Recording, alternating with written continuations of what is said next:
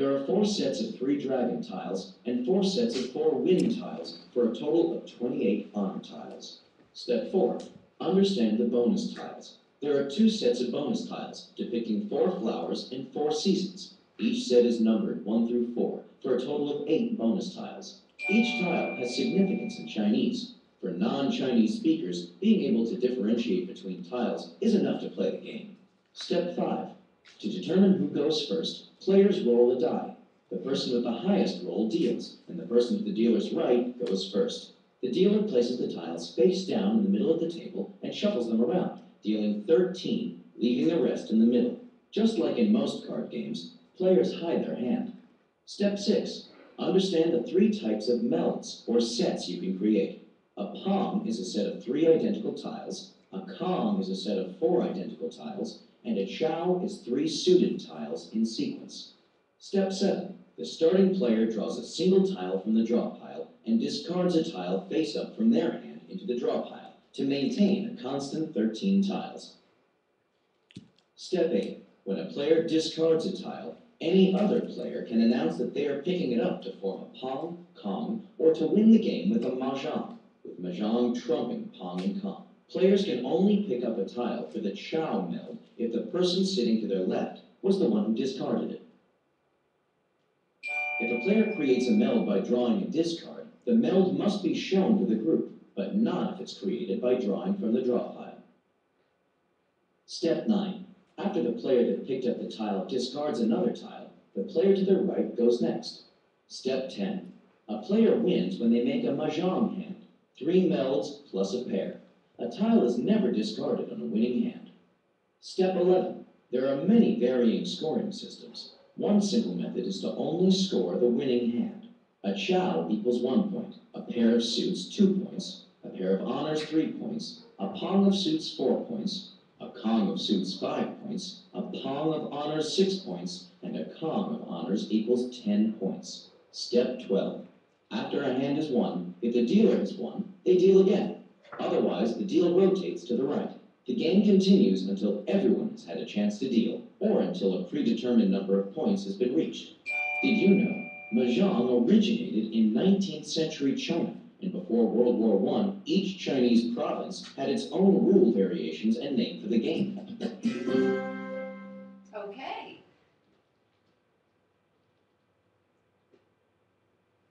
I didn't realize it was so similar to gin. That's apparently the case. Um, so, Charles, if you wouldn't mind, pick up the first paragraph here. We're going to read a little more about Mahjong and its connection, or Jewish connection. Mahjong is a game that originated in China, commonly played for by four players, with some three-player variations found in Korea and Japan. The four-player table version should not be confused with the popular Western single-player tile matching computer game, Mahjong Solitaire, which is a recent invention and completely different from the table game. Similar to the Western card game Rummy, Mahjong is a game of skill, strategy, and calculation and involves an, a certain degree of chance. In Asia, Mahjong is also popularly played as a gambling game, though it may just as easily be played recreationally. Judy. Uh, the game is played with a set of 136 tiles based on Chinese characters and symbols, also some regional variations use a different number of tiles. In most variations, each player begins by receiving 13 tiles. In turn, players roll and discard tiles until they complete a legal hand using the 14, 14th draw tile to form the four groups meld and a pair head. There are fairly standard rules about how a stone from another player melded, the use of basic number tiles and honor, winds and dragons, the king, kind, no, the Kinds. kinds of melds, and the order of dealing and play. However, there are many regional variations in the rules, in addition, the scoring system, the minimum hand necessary to win varies slightly based on the uh, local rules being used. Alan Couples. From the tenements of New York City to the bungalows of the Catskills and the vast American suburbs, Jewish women have kept alive a game that otherwise fell out of fashion in the 1920s.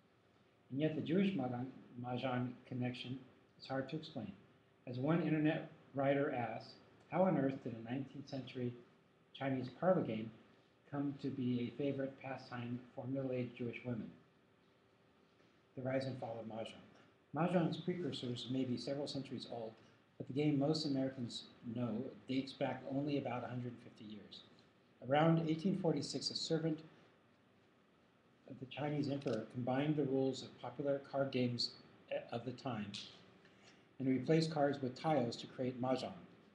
The name itself means sparrows, an allusion to the pictures of birds often engraved on the tiles. The advent of mahjong coincided with China's opening to foreign traders after the First Opium War, 1837 to 1842. One American businessman, Joseph Babcock, traveled to China on behalf of Standard Oil Company in 1912 and brought the game back to America.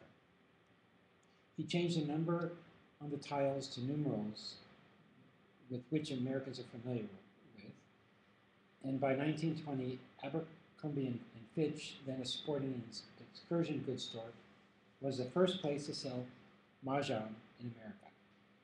I read somewhere that they sold like, you know, the first year twelve thousand games, so lots. Dave, to pick up there? Throughout the 1920s, the game was a popular craze. Over time, to make the game more difficult and exciting, playing groups made up their own table rules. As these homemade regulations became more complex and convoluted, players eventually became turned off by the game and the challenge of ever changing rules. By the end of the decade, the Mahjong fad had died. A Jewish trend, but Jews, particularly Jewish women, did not let the game go. In 1937, a group of Jewish women formed the National Mahjong League, Mahjong. League, which to this day strives to maintain consistency in the game. Every- each year, the league issues a card listing winning combinations of tiles, which change every year in standard regulations. This stability helped the game to survive, but Jewish involvement in the league doesn't fully explain the Jewish Mahjong phenomenon. Yeah, Mahjong phenomenon. Mike? According to Anita Liu in Christy Salguero's book, Mahjong from Shanghai to Miami Beach, throughout World War II, the game continued to be played amongst Jewish women's circles as increasing popularity became more prevalent in their lives. While the men were off to war, Liu and Calgaro explained that women found Mahjong to be an inexpensive form of communal entertainment in an urban setting of New York. The game spread from friend to friend, mother to daughter. Another group of historians suggest that Jews fled Nazi Europe made to Shanghai and got involved into local culture, adopted the game. Once these refugees immigrated to America in the mid 20th century, they helped keep Mahjong alive. A completely different theory comes from Ruth Unger, current president of the National Mahjong.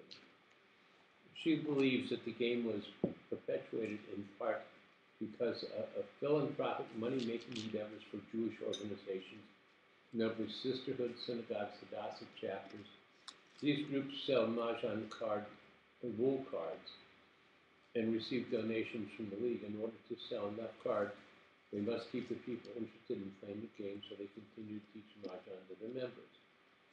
Your turn. Okay, bungalow memories. Perhaps the most important factor in Mahjong's survival is the role it played in bungalow colonies, Hmm. popular vacation sites for Jews in the mid 20th century, just above New York City. In Borscht Belt bungalows, Memories of Catskill Summers, Irwin Richman describes the Jewish vacation culture there. By the middle of the century, Mahjong had spread from the city to the suburbs and the vacation resorts. It went along with the Jews. The click click of tiles and phrases like five bam and two crack filled the air many an afternoon at the large colonies. New York City, New York resident Joan Cooper finally recalls spending childhood summers at these colonies, where her mother and friends would play mahjong every afternoon until Friday afternoon when the husbands and fathers drove up from New York City. The women would sit with big hats covering their face and straps untied on their bathing suits so they didn't get any tan lines, says Cooper. The best way to ask something from mom was during her games. She'd always give me a little money just to make me go away. In the documentary Mahjong, The Tiles That Bind, seasoned players say that Mahjong is their life, as women play for years and decades with the same people. It's kind of like quilting bees. They share life events, marriage and divorce, the birth of children and then grandchildren, work and retirement. It is even said when, when the last woman of a mahjong group dies, it is her job to bring the mahjong set with her to Olam Haba, the world to come. So, in uh, honor of uh, Chinese New Year, we're uh, reading a little bit about uh, the Chinese Jewish uh, connection. No, as honoring something. I'm honoring the fact today that I'm proud that I don't give money to public radio. And why is that important today? Well, because I just heard on kind of, that if we use the Canadian tar sand, so there'll be no stopping global warming. Ah. Okay, And so public radio is getting the message out. that- that's right, and um, it makes my heart feel so good. that I don't a con- great That I thing. don't contribute to public radio. All right, so where are we in our book? We should be on page one thirty-four. One thirty-four at the top? Yes, Gemara, chapter, uh, five. So Rabbi Joshua ben Hanania. Rabbi Joshua ben Hanania said, The only people who ever outweighed me were a woman, a boy, and a girl. What happened with the woman? Once I stayed at an inn, and the innkeeper made me a dish of beans. On the first day ate them and left nothing, and again on the second day ate them and left nothing. On the third day she put too much salt in them, and after tasting them I abstained. She said, Sir, why don't you eat? I replied, I ate earlier in the day. She said, Then you should have not broken bread.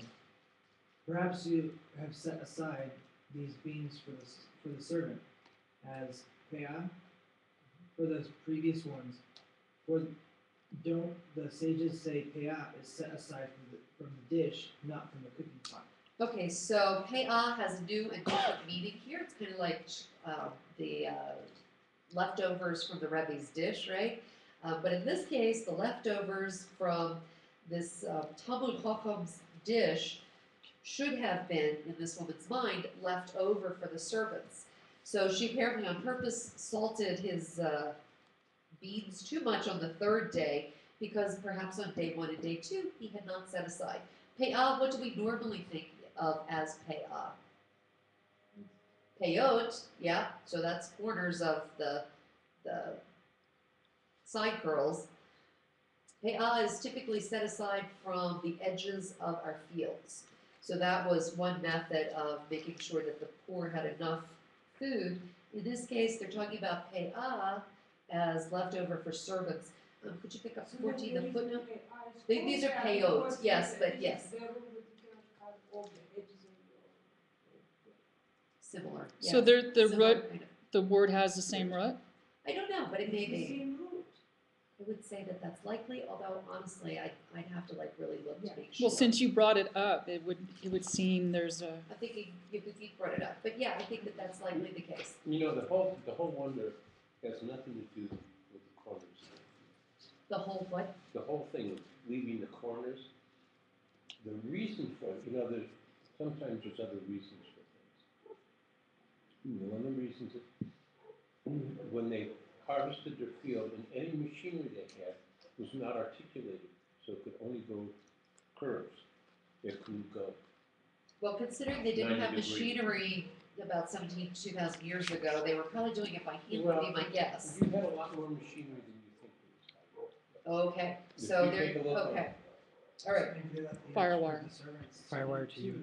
That, that was exactly why they did it. They, le- they left the, the No other corners of the wires. field So that's was We are one wireless too. method of making sure that the Other poor, than in this. addition to there's, there's rules like so then when people try So if you leave like a, a corn stalk or This is something, it hazard. wasn't corn, but a stalk of something, a wheat stalk in the middle of the field, you're, you didn't pick it up, that was left for the people who came behind the gleaners. it's actually an Like Naomi and Ruth, you know, we, we think about their stories in the book of Ruth, that they were gleaning the field, so they were going behind the workers, and if the workers maybe left a few extras, and they didn't do the, this, the edges, it was for the people who were very poor. Well, and if you think of the curls on the side, that's not, that's like on the edges of the face.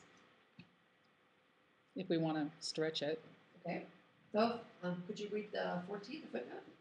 Um, have set aside follows the reading of the Vilna Gaon. The standard text read, "You have not set aside."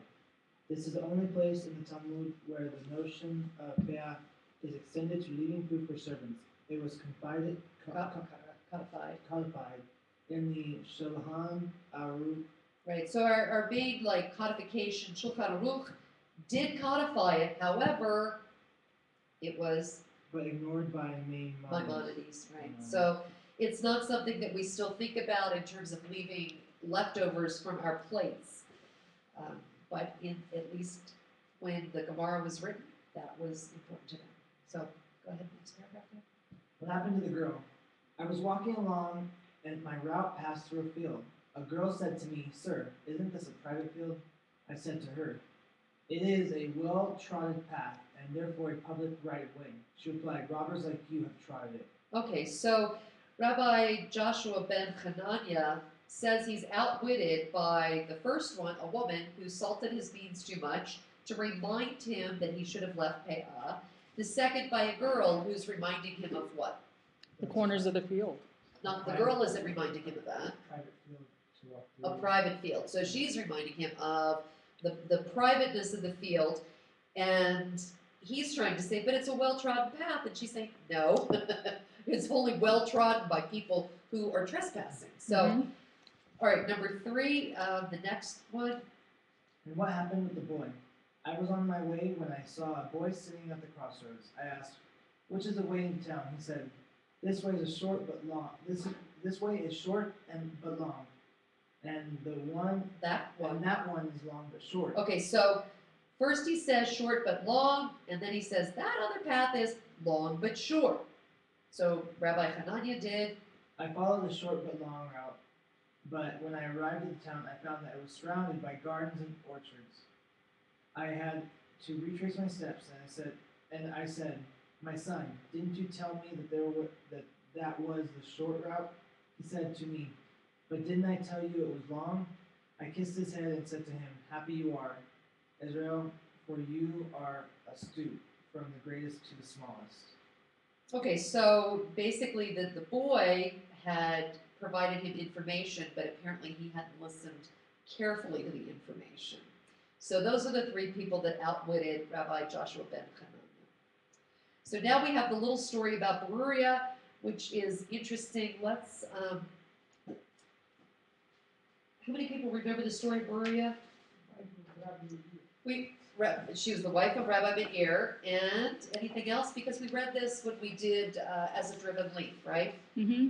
She was extremely attracted to, who was it? No, she was, she was a very faithful wife, but. but Yes. She, but she learned too much and always sages around her have kind of jealous of her powers of knowledge and set her up to Have uh, problems. the problems. What I remember from childhood is that she was uh, very learned. She's But very what I learned. learned recently here, the last year, is that the, it, it didn't go well with the rabbis. Yes, there was some of that. Uh, But let, let's read about her from, this, this comes from Who's Who in the Talmud, and um, Shulamit Friedman does a great job of, of pulling different sections, and, and we'll learn more about Maria's life. So, she lived during the fourth generation of Tanaim. Daughter of Rabbi Hanania ben Zion, the wife of Rabbi Meir.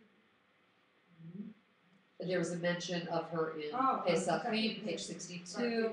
Yeah, She is the only woman in the Talmud who participated in halakhic debates with the sages and her views were seriously with. In a debate with Rabbi Tarfon and the other sages on, the issue of ritual purity and impurity, Rabbi Yehuda ruled in Duria's favor, saying Duria's and well, so forth. On another occasion, she had a halakhic debate with her brother or father, and Rabbi Yehuda ben Brother decided the halakha, decided the halakha in her favor.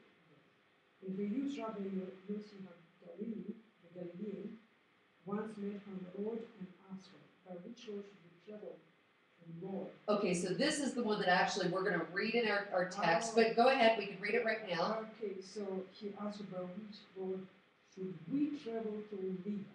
She replied, Galilean food, didn't the sages say in Avot 1.5, when not talk excessively with women, you should have asked how is the Lord.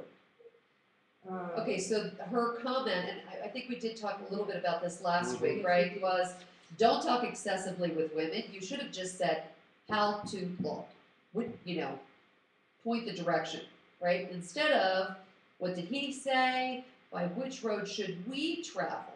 So perhaps the issue was maybe there was some implication that he was inviting her. That, I'm not going to give you the Lord. You know, it's like we right. Lord, yeah. instead of just uh, like, yeah, Lord. Yeah, a Lord or something. right. It was said that she studied 300 rapport or three hundred sages daily during a period of three years. Okay, smart, pretty smart person. However, Yeah, they were a difficult life. She watched her father was burnt alive in Chicago in public, her mother was sentenced to death, her sister was taken to a house of prostitution. Uh, what is AZ? um, uh, so it's a tractate. Her brother was killed by bandits. Uh, on Shabbat, uh, on one Shabbat afternoon, Rabbi Meir was the sky for over and two of the sun. Okay, so now this is like her pain. This is this is her piece of how her life was exceptionally difficult. So not only did she have difficult with her father, her mother, her sister, and her brother, but now this deals with her, the the most famous or one of the many famous stories about Rabbi Meir and how she was such an incredible sage. So One Shabbat afternoon, Rabbi Meir was hall when two of his sons died suddenly. The laid them on a bed and them a sheet without informing her husband about their death. and why did she do that? Because Shabbat. Because it was Shabbat. No no negative news, right? If you could possibly avoid it. So After Shabbat, when Rabbi Meir returned home, to ask her, Where are my two sons? They went to the study hall, she replied. Is funny. I looked in the study hall and I didn't see them. She gave him the cup of for Havdalah at the end of Shabbat. Rabbi Meir persisted. Where are my two sons? His wife answered, They were, went to a certain place and they are not, they are coming back now. She gave him something to eat after he said the grace after the meal. She said to him, Rabbi, I have a question to you. A while ago, a person gave me a picadon, something to watch for him. Now he came for it. Should I return it to him or not? Okay, so now this is the setup, right? This is, this entire question has to do with Rabbi Meir, how he's going to respond to this news, right? Rabbi Meir answered, Who that has a picadon by him, who that has picadon by him does not need to return. So in other words, Rabbi Meir is saying, of course you must return it, right? The lawyer said, if not for your view on it, I would not have returned it. She led him to the room where their sons were lying, and she removed the sheet and enabled him to see their two sons lying the bed. He began crying, My sons, my sons. She said to him, Rebbe, didn't I tell, uh, didn't you tell this to me, that we need to return the picadon to his owner? The Lord gave, and the Lord has taken away. With these words, Rabbi Meir was unfolded. The Midrash concludes, this is, that this it says, a woman of war who, who could. So Eshet Chayil. So the Midrash uses this piece um, to basically extol the way that she broke the news to him. What's that? Yeah, that's right. That's right. When people antagonize her husband, he prayed that they should be punished. Beruria, uh, him, saying, Does it say the sinner should be destroyed?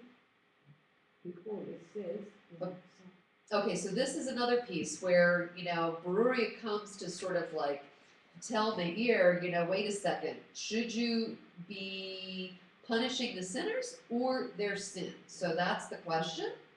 and uh, in, uh, uh, Psalms 104, the sin should.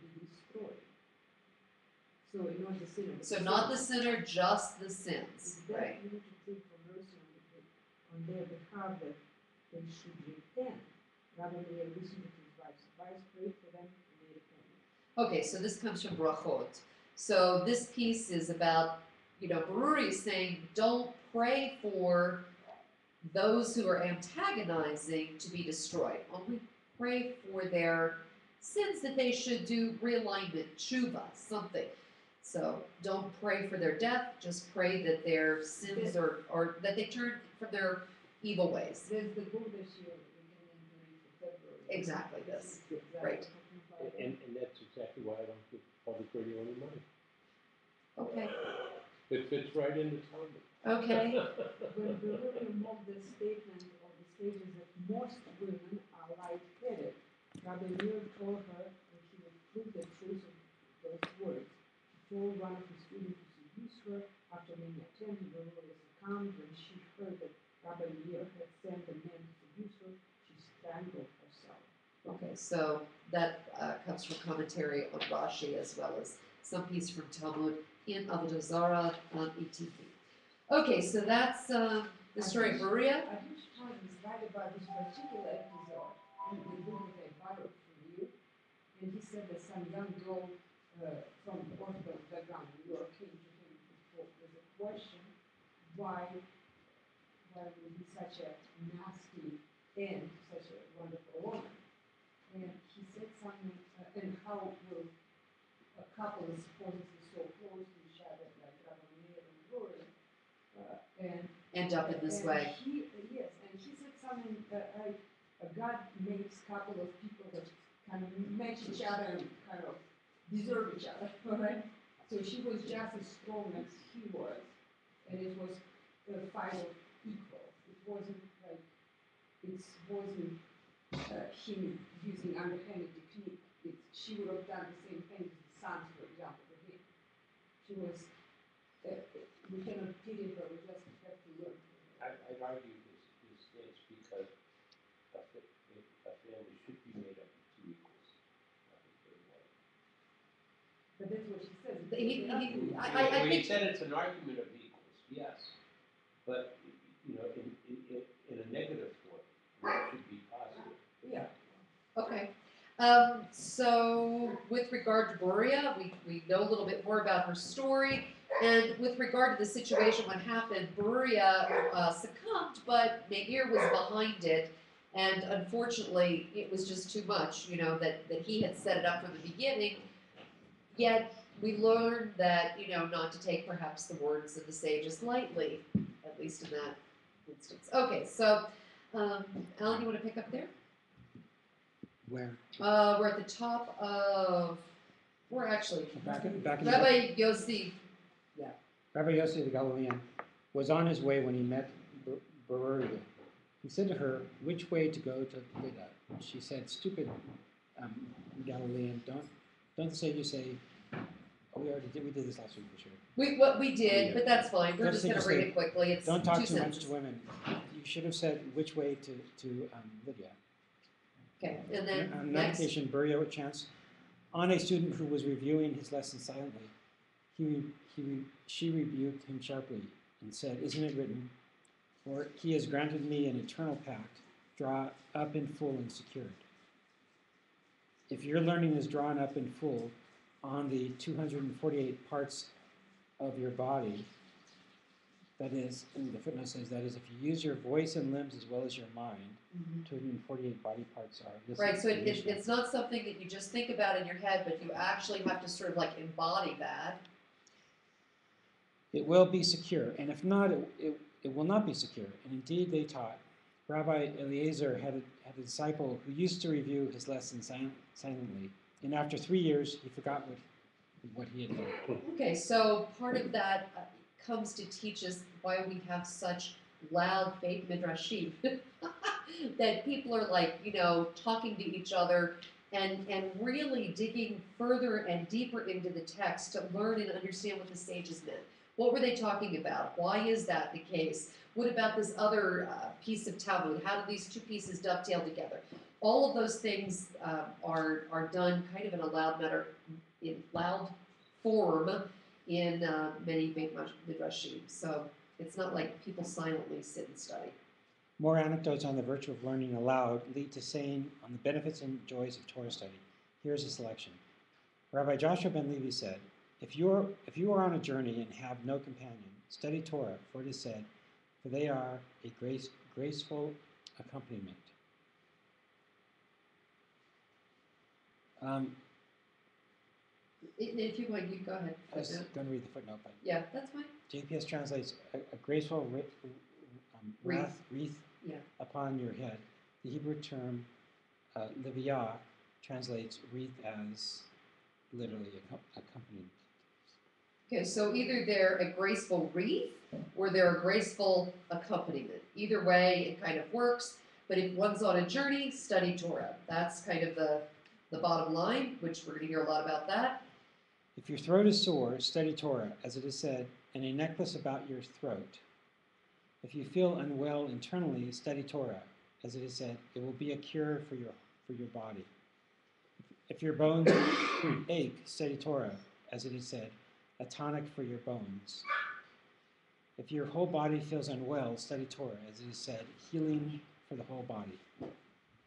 So, and literally, this is taken literally from an Orthodox standpoint. People actually truly believe that Torah study is a remedy.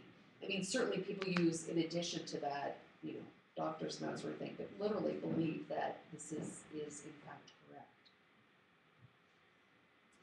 correct. Uh, Rav Yehuda, the son of Rabbi Achia, said, See, the ways of the Holy One, blessed be He, are not like the ways of flesh and blood. It is the way of flesh and blood that if someone gives a friend a drug, it is good for this, but bad for that. But when the Holy One, blessed be He, gave toward Israel, it was a cure for all his body, as it is said, healing for his whole body. Rava, the son of Rav Yosef, Yosef ben Chama, had upset Rav Yosef. Um, on the eve of the Day of Atonement drew near, Rava said, I will go and make it up with him. He went and found Rav Yosef's servant pouring wine for his master. He said, Let me pour. The, the servant handed over, Rav poured.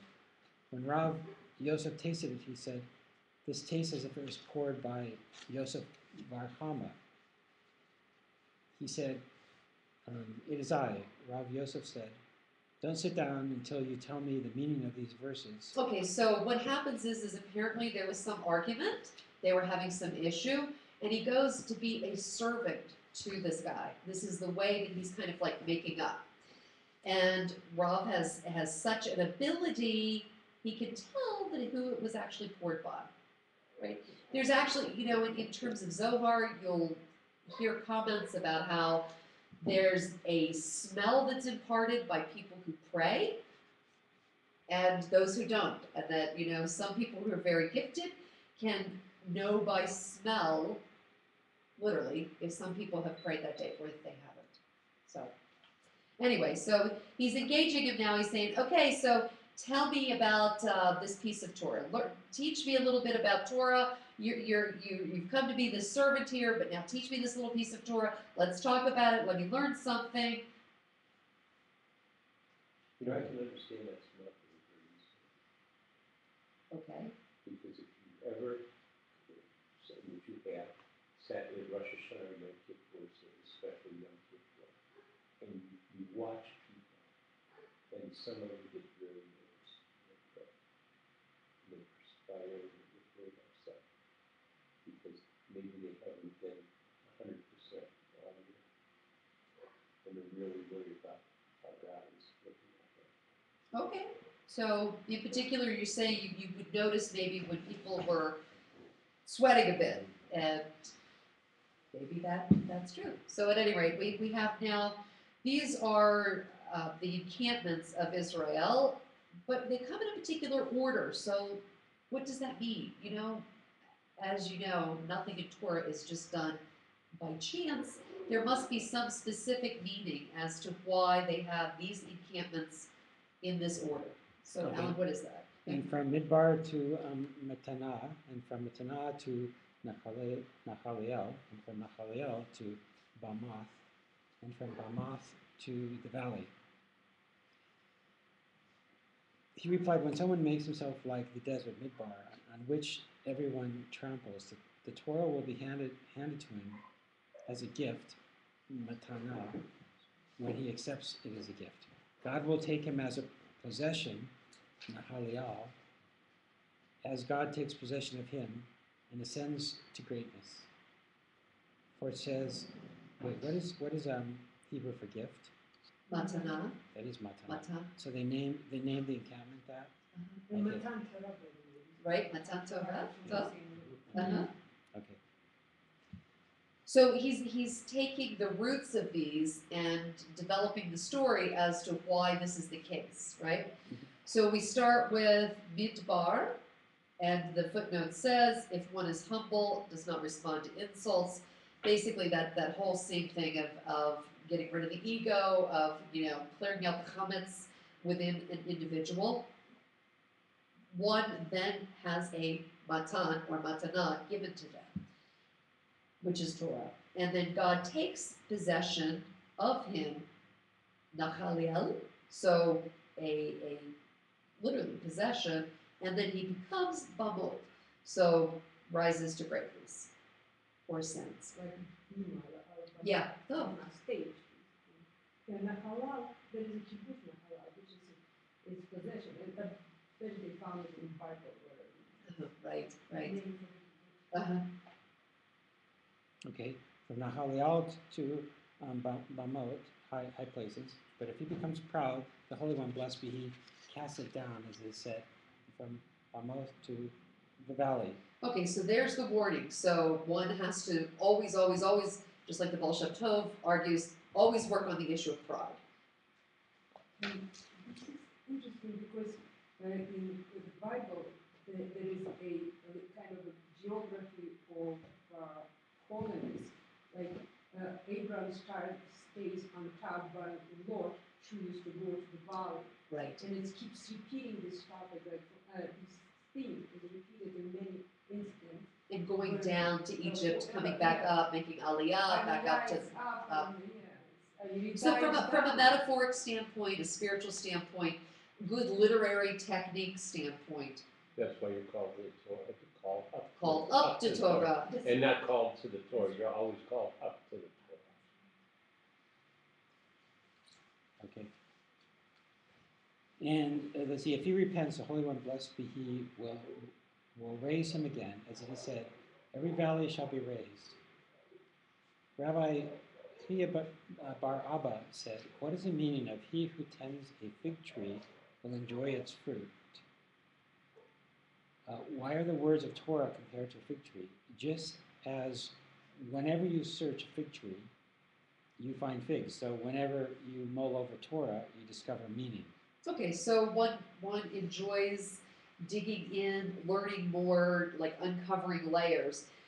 Um, if we back up to the previous story and we look at, okay, so he came to pour wine for him, and then he came to teach him a little bit of Torah, and then he also, it, at some level, is speaking about the situation between him and Rava, right? Because he's saying, okay, so essentially in, in this story, he's um, basically asking forgiveness. I mean, essentially, of this, this is kind of the, the under, underlying tone. It's kind of like the email that I sent you. Are you asking you- for forgiveness? No, no, no, no, and you, and you'll probably get, you'll probably get a copy of it from Don. Uh, okay, I'll, It- I'll be looking for it then. The tie-in is the fig tree, Okay. All right. you have to look at it. Rabbi Shmuel ben Nacham Hamani said, What is the meaning of a loving doe, a graceful mountain goat? Let her, her breast satisfy you at all times. Be infatuated with, with love of her always. What are the words? Why are the words of Torah compared to a doe? This tells you that a doe's womb is narrow, and she satisfies her lover every time as she did the first time. So too the words of Torah constantly satisfy those who, who learn them as they did the first time.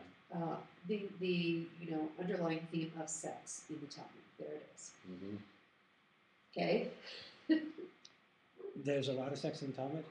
Um, actually, there is. If you look for it, it's not too hard to find. There's and there's certainly direct um, discussion of it as well. That's close to being pretty direct. Yeah, that, I'd say that's pretty good. Yes, but uh, things in Rashi's daughters, one of the daughters was getting married, and her husband brought it to her the tractate of Talmud. It was at least at that time hidden. Oh, uh, but it was used to prepare brides Mm. for their marriage, or whatever, uh, no, grooms to the marriage. uh-huh. But because the daughters of Rashi were so learned, her uh, fiancé, her, her groom, felt like he should let her, because she already knew so much of other things, to expose her to this tractate that was usually hidden from women. sweet, very sweet. Uh, I wonder what tractate it is. Yeah, that one actually I can, um, we can talk about Okay. I have my guess about that one. I- Candidly, I, you know, there, there is discussion within Talmud about what is appropriate sex, essentially, you know, for a man and a woman.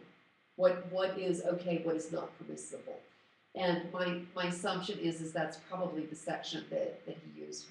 With regard to uh, the Siddur that we've had on our Facebook, um, actually a, a bit ago, in I think it's 1471, JTS has a copy of the Siddur that a Chatan gave to a Kala, a, a gave to a bride, about um, how the specific, and he wrote it for her because in that time Siddurim weren't available like on WordPress, but the specific page where it says, you know, thank God for making me a woman instead of a man. So this is what he wrote specifically for her, whatever, 1500s, and there's a copy of it online available for us to read, and you can read the Hebrew. Um, very nicely done. Do you know how you can see the link? Um, it's actually on Temple Beth Or, and we, we probably Oh, posted it maybe two, three weeks ago. If you you can go in and find it, or I'll, I'll find the link and send it to you. Yeah, it's, it's on, um, it's on our, uh, Facebook page for Temple Beth Or. What's that? Thank God. Yeah, Well, yes, because the prayer is often s- says, you know, thank God for making me a man, not a woman. That's the traditional prayer. That's the one that's often in like Orthodox prayer books. Now, Reform and Conservative prayer books have amended that, um, as well as as Reconstructionist and you know any of the liberal groups have, have amended that, changed it. But they've changed the in Orthodox for women to say, "Thank you for making me basically as I am," instead of you know thank God for making me a woman, which would be the, the, like, the exact corollary, right? So, thank God for making me kind of a woman is a more powerful statement that was written, at least in one prayer book that we know, that we still have a copy of from the fourteen hundreds.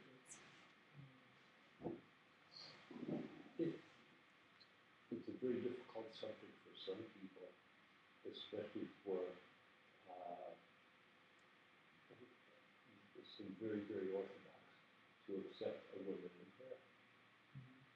Well, women are certainly required to pray, but not jointly with men at the same time in the same room not- is I'm kind of not- the issue. I'm not allowed to listen to your voice if you sing. Uh, that, uh, considered an erva, or quote, a nakedness, As- right, as all of those things. As you notice through your service, I get up and walk out every time you sing. I know you're joking, Mike. So, back to the, uh, uh, where are we at Back to there? the text. Yeah, Let me- text. Let me continue. A- A graceful mountain goat. Torah brings grace to all who learn her. Let her breast satisfy you at all times. Why are the words of Torah compared to the breast? This tells you that just as when a baby sucks, he finds milk, so, so too, whenever you mull over words of Torah, you discover meaning. And, and often there's a, a metaphor of, um, used in this, this fashion of, as the cow wants to give the milk, you know, the, the calf wants to suck the milk, and that's our metaphor for wanting Torah. It's one of the, the graphic images that, that is often in traditionally used. Okay. Be infatuated with love of her always. Like Rabbi um, Eliezer ben Badad, of whom they said, Eliezer sat engrossed in Torah in the lower market of, of, of Sepphoris, while his, I was in Sepphoris, while his, while his goods were on display in the upper market of Sepphoris. I was on that street. So tell, tell us about Sepphoris. Oh, it's, it's, it's an old town in, in the Galilee. Um, it's where the sages of the, of the, of the Talmud lived. And it um, has some beautiful uh, mosaics in the, in, the, in the synagogue that was uncovered, and beautiful mosaics in the, in the cent- in some central buildings. I, I get some like image that it had to do with, there was um, a perfumery or something like that, is that correct? Oh, I don't, I don't know about that. I don't recall. our guide talked to him about the perfumery. But it's, it's, to me, it was an interesting example of sort of Hellenistic influence on, you know, buildings and, and art in, you know, in, in Arcas and in, in Israel. So, And you, you actually were supposed to tell us, teach us a little bit, since we're here, about the wonderful Canadian town where you visited and what it's like to be a Jew in Canada. Well, this is, this is sort of in the middle of Canada. I mean, this is not, not in Vancouver, not in, you know, not in Ontario. This, this is uh, really out there. So this is a very small town called, um, uh, where was I? Sas- Sa- Sa- Saskatoon. Sa- um, Saskatoon, Saskatchewan. And it's a town of about 200,000 people. It's actually the largest city in this province, okay? Um, which is why there's a synagogue there at all. Um, so the interesting things are You said two hundred thousand? yeah, um, or 170,000, Uh-huh, uh-huh. you know, a, a significant number of people, right? I mean, not as big as Reno, but then not as small as Truckee, right? So it's it's a it's a real town with a thriving economy, no unemployment whatsoever. Um, everybody wants a job can have a job. Um, as is true, by the way, in a lot of cities in, in Canada. So this thing that we, you know, this thing that we're struggling with in Reno of huge unemployment, you know, 12% unemployment, is very localized to us. There's lots of places in the world where that's not a problem. So this happens to be one of those places. Um, so I just found it very interesting to go to a synagogue. Go to I went to a, the conservative synagogue in that town, um, which I think is um, Temple Agudas Israel. I think is the name of it. And they didn't have a rabbi, but they had a hazan, a very nice man. His name is Neil Schwartz, no relation. Um, but he happens to be a famous guy because he has uh, he has been studying and writing about um, Torah trope and methods of davening of of, of um, um, Musa. mus- musaf uh, of, of musaf modes and how you how they're constructed and how they're designed and what they all mean, and uh, has put a lot of that knowledge into the program Tefillah Trainer, which you can buy for you know for like you know under hundred dollars or something. A really wonderful program. But he taught me things about the program I didn't know about and things things about Because you, you notation. have trope trainer. I have trope Yeah. trainer and I have Tefillah Trainer Uh-huh. and I didn't know lots of things about about them. He taught me lots of things. Awesome. So, Was, was, was there any synagogue in Allentown? No, no. So I went to Allentown, which is outside of Saskatoon, and in, in the town of Allan, spelled A L L A N, just like me, they have they have this enormous uh, uh, factory where they make uh, some something called potash. I don't even know what that is, but um, the raw materials come come from a distance. You see a bunch of railroad cars, you know, for miles, and they look like little toys compared to this factory. So the raw materials come in in huge quantities and go out in huge quantities at this factory. So now we know about Allentown too. Yeah. So how, how large was the shul that you went to? Uh, I think he said that there were 130 member families and or 100 and something member families, and there were not quite a million Friday night and just barely a million Saturday morning. So But potash is very important. You wouldn't eat without potash. Okay. in most cases, I didn't know. Because it's a basis for fertilizer. It's also a basis for explosives and it's used in gunpowder. Well, thank you, Mike. And it's made primarily from nitrates. Uh, Thanks. I, I have to look it up, but I think it's. it's See, all this wonderful. All this You- wonderful, but your, useless your stuff. wealth of Ah, information. that's just what I- Okay, so we, we actually still have some time left. Let's, um, pick up, it, it'd be great if we could finish at least this You- tractate. you Eric, didn't want to read that?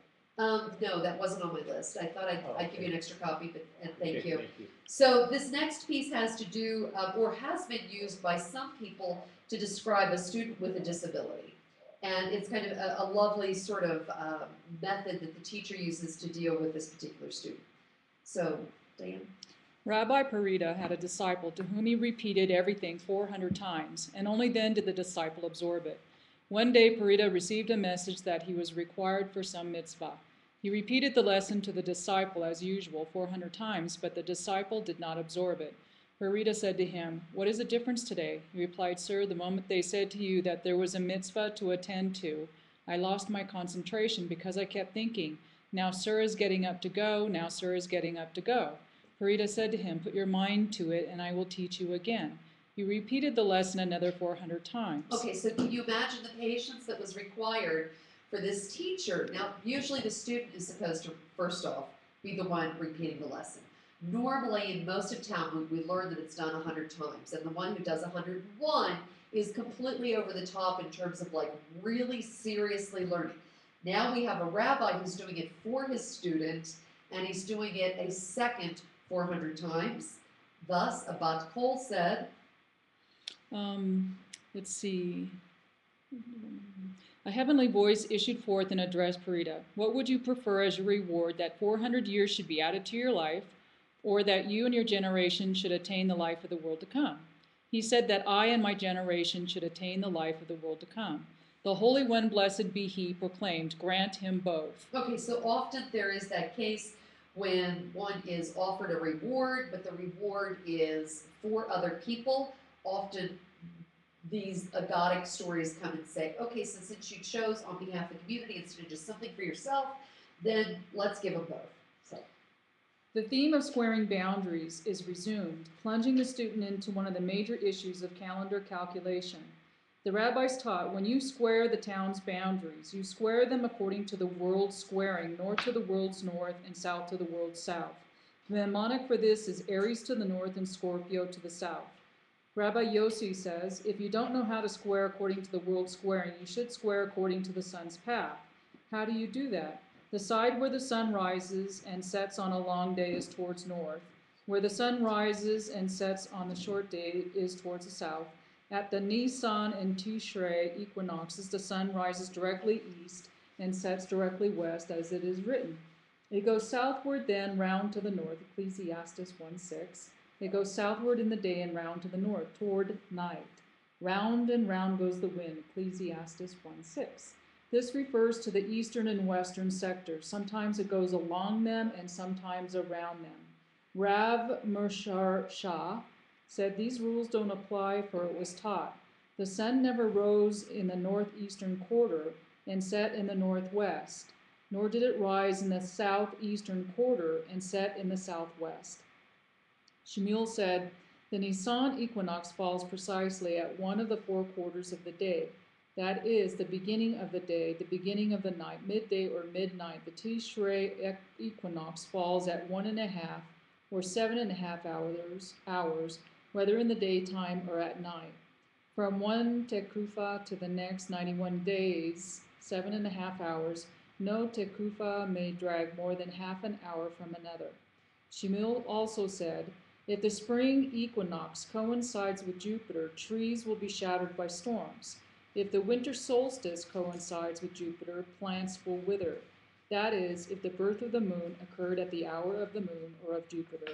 okay, so here's just the little thumbnail sketch on astrology that we see that often, you know, is a theme that's woven through Talmud in many different places, um, as well as even Maimonides will um, have some comment with regard to it. At the time, that was their quote science. You know that that is what they they used, Then, and it's almost like a farmer's almanac. So and all that science, that. all Yeah. that science got lost some, sometime in the Dark Ages. And, and it was, you know, and so in the time of Galileo, um, the, the, you know, it, it wasn't known, it wasn't well known, the science that he was considered a heretic because it seemed something against, against, you know, their canonized Bible at the time. Right? How could things not revolve around the earth? Certainly they do, right? So I don't understand that. So that, that all this was written, I mean, this was all in the Talmud, which, which I assume was like a well-known book, even to For uh, us, for us. Yeah. and you know, in, in the Dark Ages, then we dealt with situations where people had to leave, like in the 1400s. You know, get out of town quickly. Yeah. Kind of thing. So, and, and it wasn't just us. I mean, certainly there were Chinese astronomers. That sort of. yeah, But Greek- the knowledge didn't spread uh, across the world as fast as it spreads now. Right. That Exactly. was fun to see like Rashi was written in France. At the same time, uh, it was going into of Spain, just across the board, and how dangerous it was to travel this route, which was it's very short route now. It's not COVID. Uh, but they had so much, like, science already developed at that time in Spain, but Russia didn't.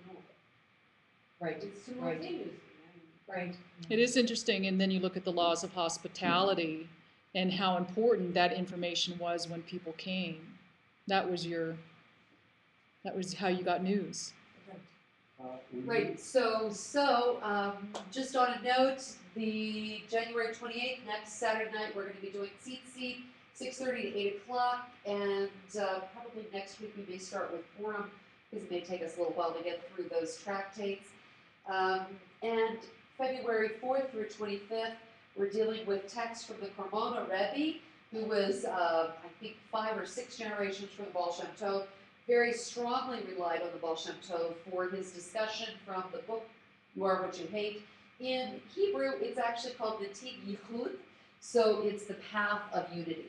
So that's um, between that and also uh, the the greater like context or text is called Nativ Mitzvotecha or the path of your commandments. And then we have Tu Tu B'Shavat coming up, Tu B'Shvat, February eighth, February. seventh. Seventh, February seventh, we're going to be doing a seder. So shortly. Anyway, thank you.